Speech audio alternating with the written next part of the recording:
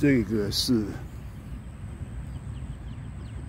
湖州小打鸟皮运动公园路边的红火蚁巢穴，这两天才冒出来的，太恐怖了！看看，这么大，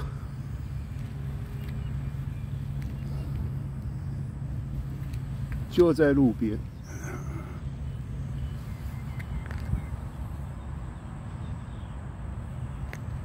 这个是不是？那个不是。好，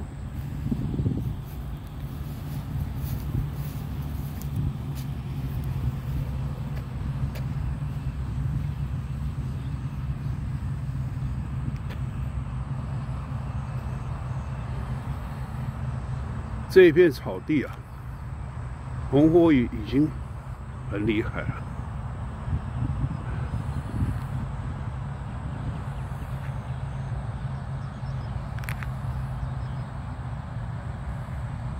我们曾经通知第十河川管理局高滩处，结果呢，他们都没有什么来处置。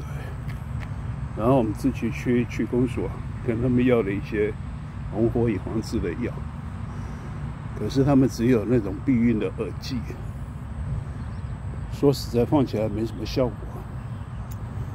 唉，真的不知道怎么办。台湾的